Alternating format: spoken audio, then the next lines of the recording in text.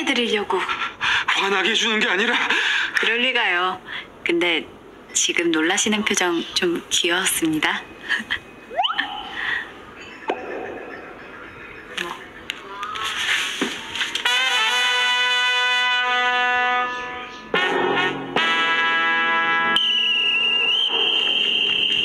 김 비서 난 귀여운 게 아니라 치명적인 거야 아, 실수했습니다.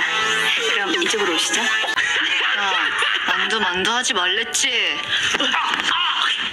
아우, 아우, 나 이거 잘못 맞았어. 아, 나 잘못 맞았어. 준규 괜찮아? 많이 아파? 아, 나 여기 허리. 야, 여기 허리 좀 봐봐, 허리. 아, 아. 어디? 여기?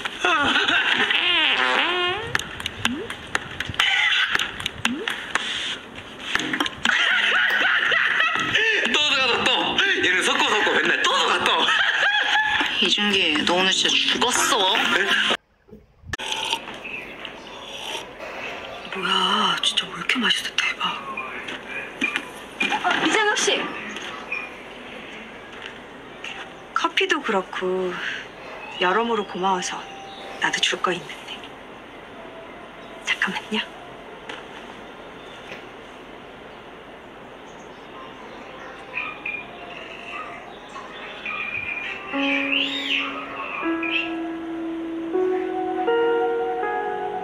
Okay.